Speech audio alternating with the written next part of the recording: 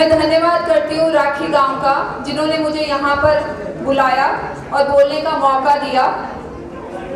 यहाँ पर हमारे सीनियर लीडर बैठे हैं, सरदार जोगिंदर सिंह उगराहा, डॉक्टर दर्शन पाल जी, जिन्होंने अपनी सारी ज़िंदगी किसानों के लिए दी है। हम तो बच्चे हैं, आज उनसे सीख रहे हैं और किसान आंदोलन के दौरान भी इनसे बहुत कुछ सीखने के लिए मिला। जोगिंदर उगराहा, वो लीडर हैं जिनको पंजाब में अब तो पूरे वर्ल्ड लेवल के ऊपर लोग बात करते हैं किसान आंदोलन के बाद। मैं इनको पहली बार टिकरी बॉर्डर में मिली थी। तो जब इन्होंने, जब मैंने इनको बताया कि मैं सरदार बलदेव सिंह मान की बेटी हूँ, जो कीर्ति किसान यूनियन के प्रेसिडेंट थे, किसान नेता थे मेरे पिता तो इन्होंने मुझे गले से लगा लिया। प्यार जो मुझे नहीं मिला, जो मैंने अपने बाप को नहीं देखा टिकरी बॉर्डर के ऊपर, मैं इसलिए बता रही हूँ कि हमें इनकी शख्सियत के बारे में भी पता होना चाहिए। जो टिकरी बॉर्डर पर आपकी बेटी के ऊपर कई लोगों ने धमकियों के वार दिए, तब मेरे बाप की जथेबंदी कीर्ति किसान यूनियन ने मेरा साथ नहीं दिया। मेरे साथ ये बाप खड़ा था। ये बाप खड़ा था तब भी खड़ा था जब मैंने अमृतसर राजस्थान से में रैली करवाई थी बाप ने कहा था, मैं तेरे साथ खड़ा हूँ, तू किसानों की आवाज़ बुलंद कर।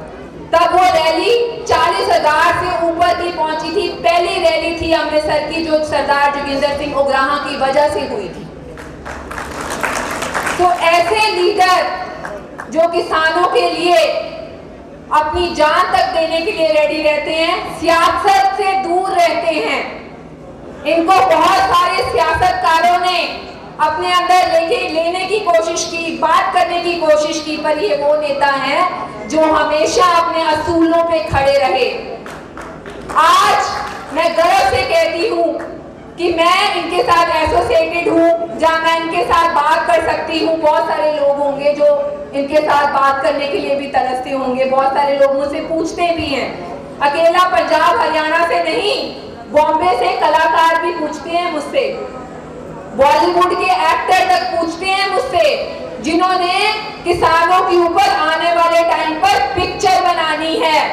आप लोगों की इतनी महत्वता है बॉलीवुड में, जो मुझे इन नेताओं के बारे में पूछते हैं कि तुम व्यक्तिगत रूप में इनसे मिली हो, ये कैसे हैं? आप सोचिए, आप कितने बड़े हैं अपने आप में। जब से किसान आंदोलन के बाद हमारी किसानों की रैलियाँ बड़ी होने लगी। तब से ये पॉलिटिकल रैलियाँ जो पैसे देके करते थे, वो लोगों संभाल कर भाग कर गाँव गाँव में रैलियाँ करनी शुरू हो गए। तो मैं यही कहना चाहती हूँ, हमेशा अपने किसान की रैलियाँ, किसान की इस तरीके से पंचायतें, इसी तरीके से बरकरार रखना, क्योंकि आपकी एकता सरकार है। आपकी एकता के साथ ही हमने तीन बिल रद्द करवाए हैं। आपका समर्थन ज़रूरी है। जिस तरीके से हरियाणा, पंजाब का समर्थन और एकता इसी तरीके से बरकरार रहनी चाहिए। अगर पंजाब में जोगिंदर उगराह है तो हरियाणा में भी जोगिंदर उगराह है।